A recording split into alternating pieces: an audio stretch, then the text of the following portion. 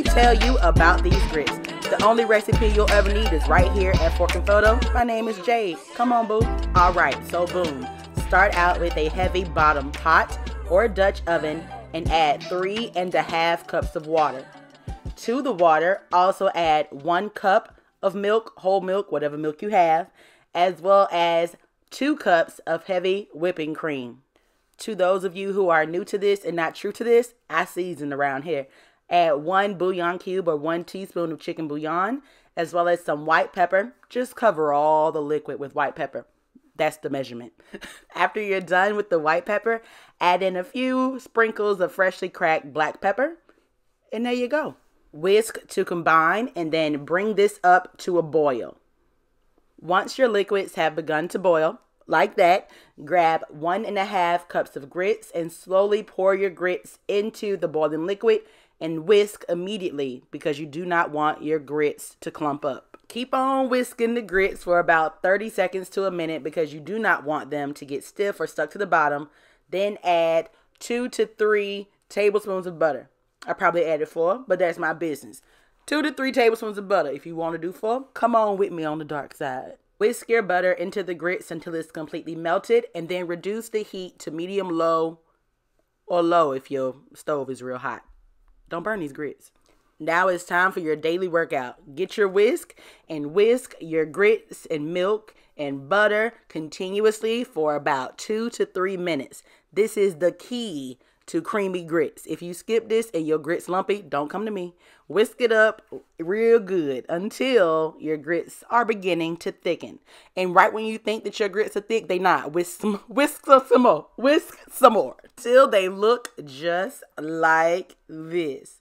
Yes, yes. Then turn the heat all the way down to low, like really low this time. Add your lid and let these babies cook some more. Low and slow, baby. Low and slow. Whatever you do, don't forget to add the lid because you don't want to be like Al Green. Ask him about them hot boiling grits. After about five to 10 minutes or whatever the package on your grits say, the grits should look like this. Look at them grits, y'all. Thick, thick, thick. Now, if you like your grits thinner, don't let them cook this long. But grits around here are thick thicker than a Snicker. I mean, come on, look at these grits. You don't want your grits to, you want your grits to look like that. To finish off the grits, remove them from the heat, add in your butter. I'm adding about four tablespoons of butter. That's my business. Add two to three if that works for you. Whisk it in. Melt your butter real good in these grits. This is what you want in your life. The creaminess. Yes, yes, yes. Now that your butter is whisked in, even if you still have a little chunk of butter like I do, it's fine. It'll melt it's time to add cheese.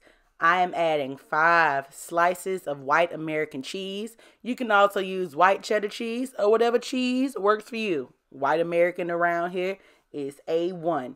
If you don't have slices, it's about half a cup to a cup of cheese.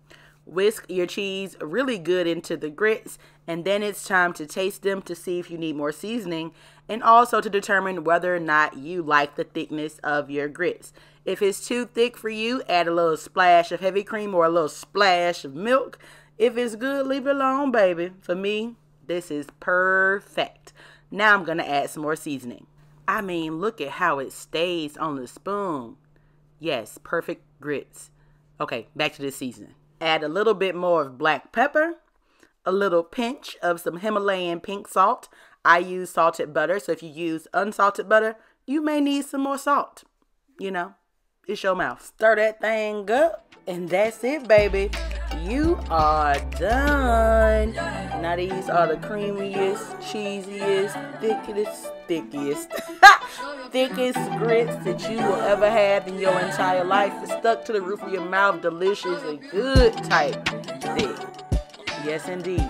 If you have not done so already, make sure you hit the subscribe button, even hit the alert button, leave a comment, leave a like. Follow me on Instagram at Fork and Photo. Follow me on Facebook at Fork and Photo. But remember, no matter what you do, make sure you eat good. Until next time, y'all.